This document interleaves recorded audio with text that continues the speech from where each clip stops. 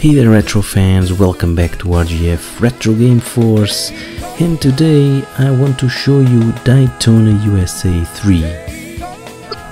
So I went online, I downloaded the game and a patch which added the possibility of play the game with a Xbox 360 controller so, without further ado, let's check how Daytona USA 3 looks running on my PC right after this Retro Game Force intro.